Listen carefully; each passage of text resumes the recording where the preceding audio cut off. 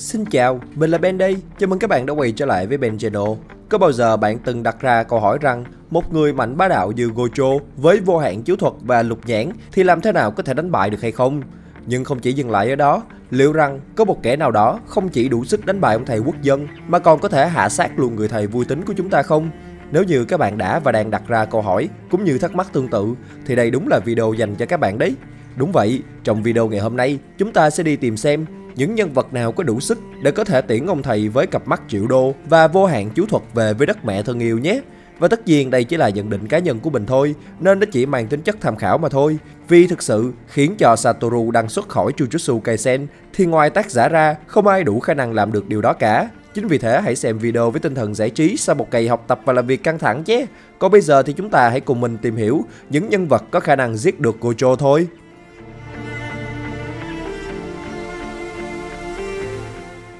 Geto Kenjaku, phải nói là vô hạn chú thuật và lục nhãn hoạt động 24 trên 24 thì Satoru gần như là không thể bị đánh bại khi mà không một ai có thể chạm vào người của ông thầy quốc dân nếu như Gojo không cho phép. Thậm chí là ngay cả bành trướng lãnh địa thì cũng chưa chắc có cơ hội để có thể đánh trúng được Gojo khi mà lãnh địa của ông thầy quốc dân thuộc hàng tóc đầu Jujutsu Kaisen. Chính vì thế mà trong một cuộc đấu lãnh địa thì phần trăm Satoru giành thắng lợi là rất cao. Vậy thì làm sao mà Geto hay đúng hơn là Kenjaku có cơ hội mà giết được Gojo? Trước hết, chúng ta hãy tìm hiểu một chút về nhân vật này nhé. Kenjaku là một chú thuật sư cổ đại và hắn đã sống hàng trăm năm nhờ việc dùng thân xác của người khác để tồn tại bằng cách cấy ghép não của hắn vào vật chủ. Và chưa rõ đây có phải là thuật thức bẩm sinh của Kenjaku hay không, nhưng nhờ thuật thức này mà Kenjaku đã sống qua rất nhiều thế kỷ và tích lũy được một lượng kiến thức đồ sộ về thế giới chú thuật cũng như là kinh nghiệm chiến đấu. Sau khi chiếm được thân xác của vật chủ, thì Kenjaku cũng có được thuật thức bẩm sinh của vật chủ và thuật thức mà mình muốn nhắc đến ở đây chính là chú linh thao thuật của Geto. Là một kẻ vô cùng ác độc và bu bô, chính vì thế mà việc Kenjaku sở hữu được chú linh thao thuật là chẳng khác nào hổ mọc thêm cánh, khi mà giờ đây hắn có thể dùng thuật thức này để thu thập nguyên hồn về làm việc cho hắn. Với số lượng nguyên hồn mà hắn thu thập được thì Kenjaku có thể tạo nên cả một đội quân hùng mạnh như cách mà Geto đã làm ở movie Jujutsu Kaisen Zero. À mà ai chưa xem thì hãy xem đi nhé, rất hay đấy. Vì vậy mà để đối phó với Gojo thì bưu trí cũng như là kinh nghiệm của mình, Kenjaku chắc chắn sẽ biết làm gì với đống quyền hồn mà hắn đã thu thập. Và cũng không thể không nhắc đến một chú thuật cực mạnh mà chú linh thao thuật có thể thi triển, đó là cực phiên Uzumaki. Với thuật thức này thì người dùng chú linh thao thuật, có thể dồn tất cả nguyên hồn mà họ sở hữu lại thành một mũi khoan và phóng nó đi với lượng chú lực siêu đậm đặc của nguyên hồn khi bị xoắn lại với nhau.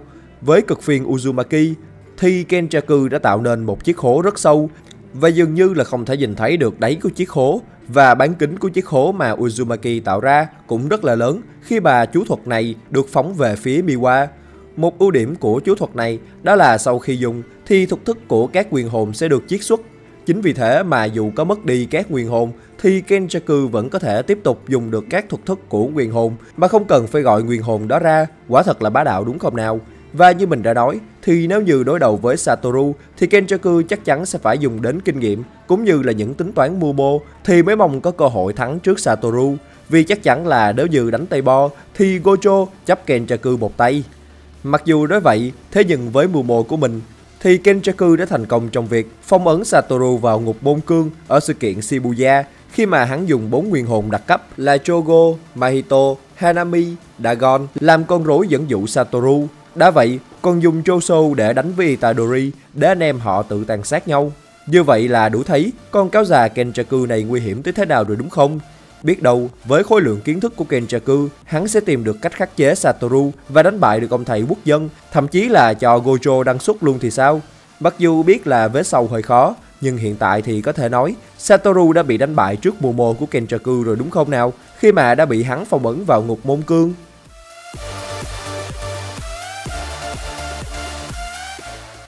Tochi Fushiguro Dành cho bạn nào chưa biết, thì Tochi Fushiguro chính là cha của Megumi Fushiguro đấy. Và mặc dù Megumi là một chú thuật sư vô cùng tài năng, thế nhưng cha của anh là một phi thuật sư, thậm chí là ông Tochi còn không có chú lực. Chính vì thế mà ông bị nhà Zenin khinh bỉ và cuối cùng là phải cuốn gói khỏi gia tộc lừng danh này. Nhưng đừng thấy hoa nở mà ngỡ xuân về.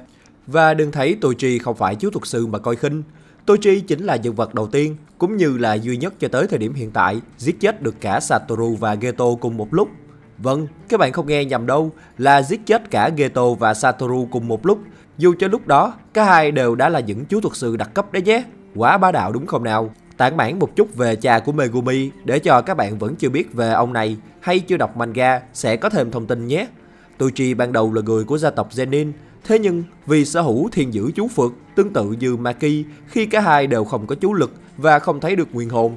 Thế nhưng Trì khác ở chỗ là ông hoàn toàn không có một chút chú lực nào và có thể nói là ông là một trong số hiếm người vô chú lực. Còn Maki thì vẫn tồn tại một ít chú lực trong cơ thể. Và như mình đã nói, nhờ sở hữu thiên dữ chú Phật Chính vì thế mà Toji bù lại có một sức mạnh thể chất phi thường gấp mấy lần Maki và các giác quan của ông cũng được đẩy lên tới mức cực hạn. Khi so Toji với Itadori thì sức mạnh thể chất của Yuji cũng chỉ là mũi so với Toji. Chính nhờ có sức mạnh thể chất vượt trội và giác quan đạt tới mức tuyệt đối, Toichi đã trở thành một sát thủ hàng đầu. Không những thế, Toichi còn có thể dùng giác quan của mình cùng với kho tàng kiến thức về chú thuật cũng như là nguyên hồn để cảm nhận và hình dung chính xác được các nguyên hồn và các chú thuật. Chính vì vậy mà Toichi có thể lên kế hoạch để đối phó với những chú thuật sư một cách dễ dàng. Như mình đã nói là Toichi từng có đủ khả năng để giết chết cả Satoru và Geto cùng một lúc vào thời điểm đó, khi cả hai anh chàng đều là những chú thuật sư đặc cấp. Thế nhưng, nói đi cũng phải nói lại, đó là khi đó thì cả hai cũng chỉ là học viên năm 2 tại trường chú thuật, nên họ so với Tochi thì không có nhiều kinh nghiệm chiến đấu. Còn ở thời điểm hiện tại thì việc cân một lúc cả hai chắc chắn là điều không thể so với Tochi, dù cho ông có sống lại Vậy nhưng hãy xem Tochi đã làm cách nào để suýt tí nữa thì cướp mạng sống của hai chú thuật sư đặc cấp đây nhé. Với sự thông minh và kiến thức về chú thuật của mình, Toji đã lợi dụng việc ông không có chú lực và chẳng khác nào là người vô hình so với các chú thuật sư khi mà họ không thể cảm nhận được ông để ẩn nấp và chờ thời cơ ra tay.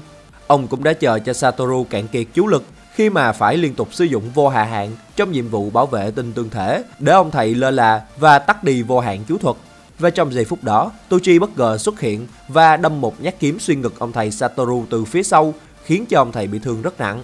Sau đó thì cuộc chiến của Tochi và Satoru diễn ra rất ác liệt khi mà Satoru thì bị thương nặng nhưng không thể dùng vô hạ hạn hay nghịch đảo chú lực để chữa trị vì lúc này Gojo chưa biết dùng. Đã vậy còn không thể cảm nhận được chú lực của Tochi nên Satoru không thể đọc được chuyển động vì vậy mà lục nhãn cũng chịu thua. Cuối cùng thì Satoru bị Tochi đâm thiên nghịch mâu vào cổ họng và xé nát hết phần cuốn họng của ông thầy, cũng như là chân phải của Gojo thì bị Tochi dùng chú cụ đặc cấp đâm nát. Thực sự là quá khủng khiếp đúng không nào? Một con người không có chú lực nhưng lại hạ được một chú thuật sư đặc cấp với vô hạ hạn và lục nhãn một cách dễ dàng. Và phải nói là Tochi đã tiễn Gojo về tới thế giới bên kia. Thế nhưng, ông thầy này lại kịp quay xe khi thức tỉnh và nhận ra các hoạt động nghịch đảo của chú thuật và chữa trị toàn bộ vết thương. Và Gojo cũng đã công nhận rằng nếu như lúc đó Tochi cắt đầu ông thầy hay đâm thiên nghịch màu vào đầu của mình thì Gojo đã chuyển sinh luôn rồi. Và kết cục là Tojo bị hạ sát bởi Satoru, còn ông thầy thì sau này hoàn thiện vô hạ hạn sau khi rút kinh nghiệm từ lần suýt tới nữa bị cho đăng xuất này.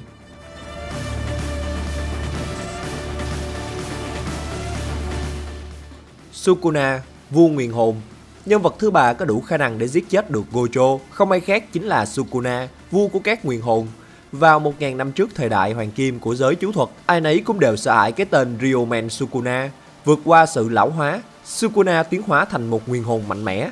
Thế nhưng, hắn cũng bị thua bởi các chú thuật sư khi họ cố gắng trừ tà vị vua này. Thế nhưng dù có cố gắng tới mấy, thì Sukuna vẫn tồn tại thông qua 20 ngón tay. Cho đến nay, sự xuất hiện của 20 ngón tay trở lại trở thành nỗi sợ của thế giới. Vì vậy chắc chắn rằng Sukuna sẽ quay trở lại Sukuna sở hữu đầy đủ các kỹ năng cần thiết của một chú thuật sư, bởi trước đó hắn ta từng là một chú thuật sư có tiếng. Thế nhưng sau này chuyển sang làm nguyên sư và vì sức mạnh quá to lớn, Sukuna đã trở thành một nguyên hồn mạnh mẽ nhất trong bộ truyện, sở hữu nguồn chú lực to lớn, có thể hiểu lượng chú lực của hắn ta vượt xa cả những nguyên hồn khác. Trong sự kiện Shibuya, Sukuna sau khi nuốt chửng 15 ngón tay của Chogo tìm được, Sukuna đã lộng hành sức mạnh của mình, khiến cho nhiều người phải bỏ mạng. Và dù chiến đấu với vô số các chú linh đặc cấp và các chú thuật sư mạnh mẽ, nhưng nguồn chú lực của Sukuna cũng không hề kiệt quệ, đặc biệt là tại trận chiến với thức thần Bát Ác Kiếm dị giới thần tướng Mahula, một trong những thức thần mạnh nhất từng xuất hiện trong truyện. Được biết cho đến nay, chưa một ai có thể thanh tẩy được thức thần này. Thế nhưng, tại cháp 118, một trận chiến diễn ra, Giữa vua nguyền hồn và thần tướng Mahula, Sukuna mém phải dính một lưỡi kiếm có tên là Thoái Ma Kiếm.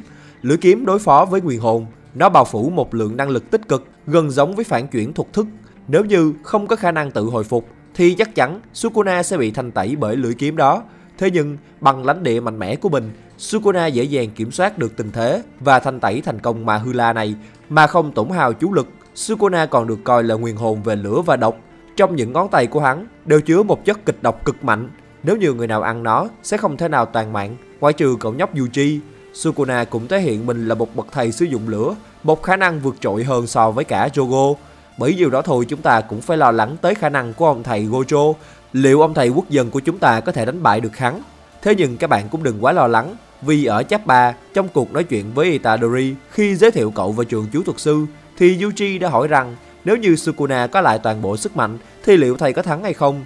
Và ông thầy này đã trả lời một cách chắc chắn rằng ta sẽ thắng thôi, dù không biết đây có phải là câu nói phét của ông hay không. Nhưng vua nguyền hồn với sức mạnh ghê gớm và vô cùng mưu mẹo như hắn, thì chúng ta cũng nên có một chút lo lắng cho thầy Gojo.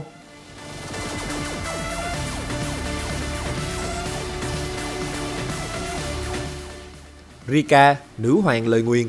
Nếu đã có sự xuất hiện của Sukuna, vua nguyền hồn, thì chúng ta cũng nên thêm vào đây sự có mặt của Rika, nữ hoàng lời nguyền. Mặc dù tới thời điểm hiện tại, Yuta đã kiểm soát rất tốt Rika, mà Yuta là dành sự tôn trọng rất lớn cho ông thầy Gojo, thế nên hiếm có một trận chiến nào giữa Rika và Gojo có thể xảy ra. Thế nhưng đây là danh sách những kẻ có khả năng đánh bại thầy Gojo, nên hãy dành một chút để nói về sức mạnh ghê gớm của Rika nhé.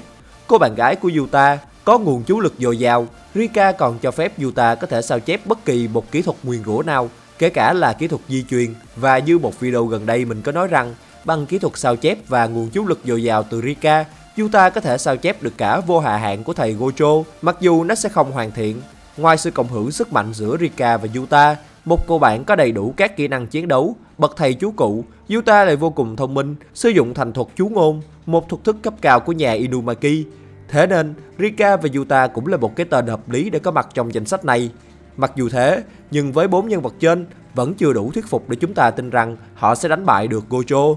Nhưng việc thầy Gojo đang bị Kenjaku phong ấn thì chúng ta cũng nhận thấy tuy ổng mạnh nhưng nếu dính vào một kế hoạch hoàn hảo thì vẫn có thể thua cuộc. Chính vì vậy mà đây là bốn nhân vật có khả năng đánh bại được cả Gojo Sotaru. Còn các bạn nghĩ sao? Hãy để lại ý kiến bên dưới phần bình luận cho mình biết với nhé.